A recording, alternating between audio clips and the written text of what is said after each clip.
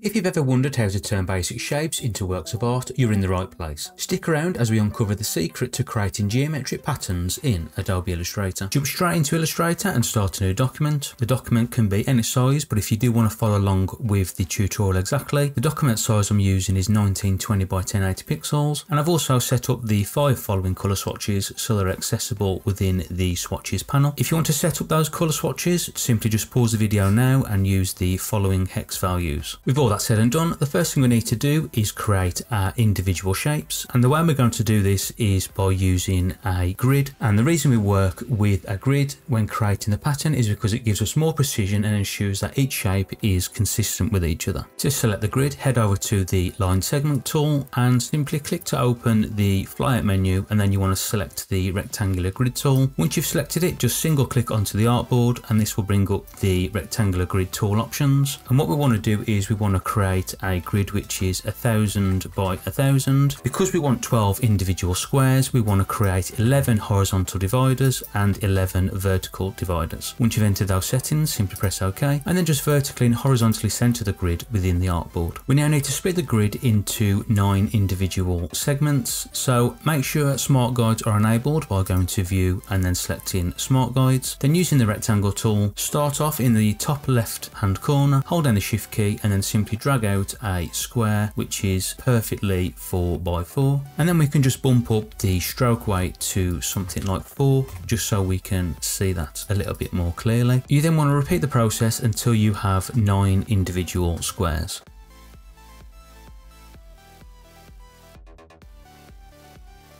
Once all nine squares are in place, we can now use each one of those squares as a container for our symbol. And then all nine of those symbols will make up the geometric pattern. So starting with the first shape, I'm going to select the ellipse tool, which is shortcut L on the keyboard. And then I'm going to position the cursor directly in the center of the square. And then I'm going to hold down the shift and alt key. And then I'm going to drag an ellipse into the first four squares. And then I'm going to do the same again, starting from the center, holding down the Alt and Shift key and then I'm going to make the next ellipse the same width and height as the container square. For the next shape I'm going to create a half circle. Now there's a couple of ways you can do this but I find it easier with the arc tool which can be found under the line segment menu and then starting from the center of the second square simply click and drag out an arc and a good tip is if you use the up and down arrow keys you can change the radius and if you select the F shortcut on the keyboard you can flip from one side to the other. So creating the first half and then simply just create the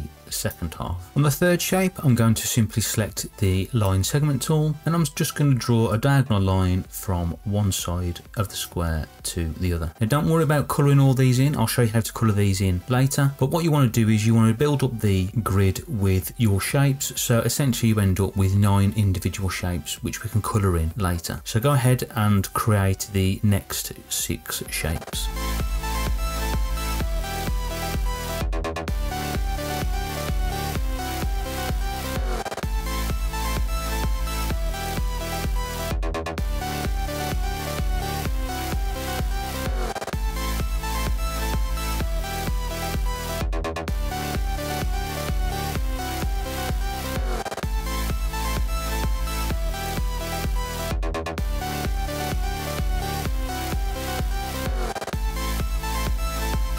Once you've created all your shapes, you want to select the original grid layer and just hit the delete key which will leave just the containing squares and each one of our shapes. And then we're going to start colouring this in using the live paint tool. Before we start playing with the paint tool, we need to make a selection around our nine shapes and then just group those together by going to Object, Group. Once everything is grouped together, under the Shape Builder flyout menu, you should see the Live Paint Bucket, or you can use the shortcut K on the keyboard. And then you want to select one of your colours from the colour group. And then once you've selected one of the colour swatches, you'll see on the cursor you have three individual swatches which follows you around. And you can use the left and right right arrow keys on the keyboard which will flip between all the colours in your colour group and then what you want to do is you just want to start filling the shapes with your individual colours.